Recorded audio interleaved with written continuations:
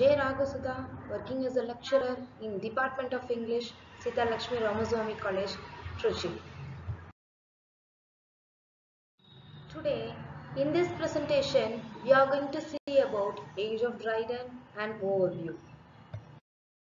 Actually, in the history of English literature, the period dating from 1660 to 1700, we call it as Age of Dryden. And Age of Dryden also called as Restoration period.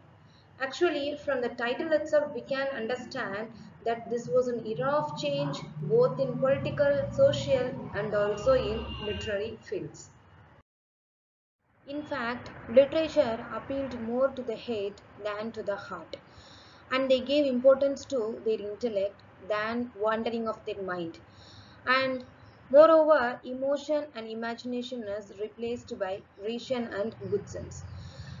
And if we take up literature of that period was influenced much by French literature like our Indian literature is influenced much by British literature.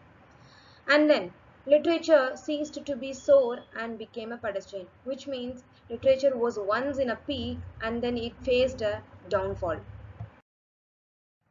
Course, Dryden was an English poet, dramatist and literary critic and playwright. He was appointed as England's first poet laureate in the year 1668. He was called as the greatest man of a little age.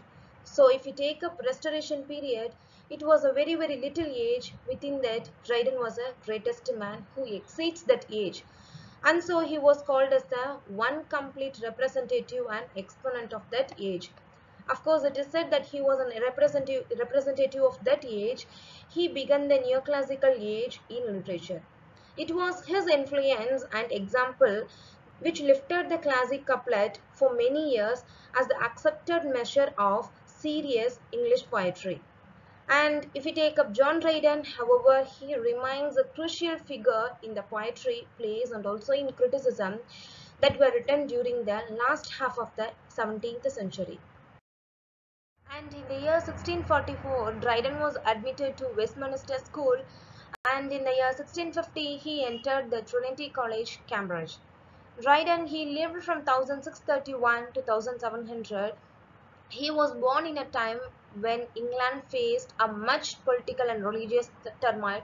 That's why we call it as Restoration Age. And in the year 1659, he contributed a memorial volume for Oliver Cromwell. So that marked him as a poet of worth watching. And Astraea Redux, one of the significant poem by John Dryden that consists of more than 300 lines in rhymed couplets. And for the coronation in the year 1661, he wrote to her sacred majesty.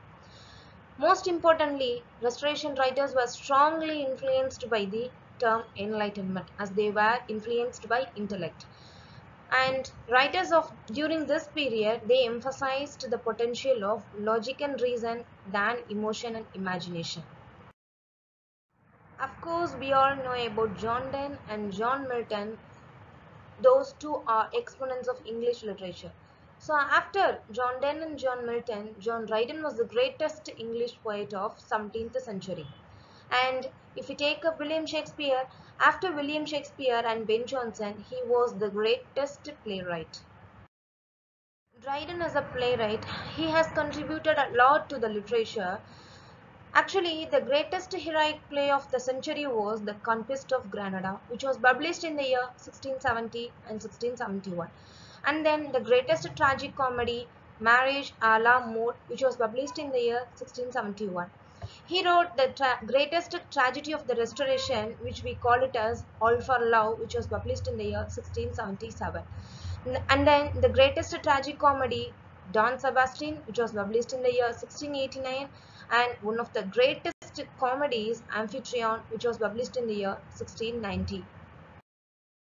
And Dryden as a prose writer, he developed a lucid professional style that relying on patterns and rhythms of everyday speech.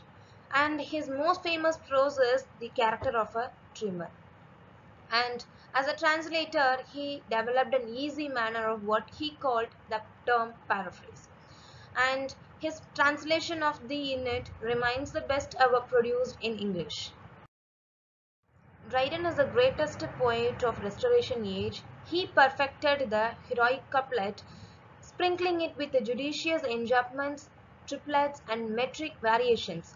His poetry was neither emotional excitement of the early 19th century romantics nor the intellectual complexities of the metaphysicals. His subject matter was often factual than emotional.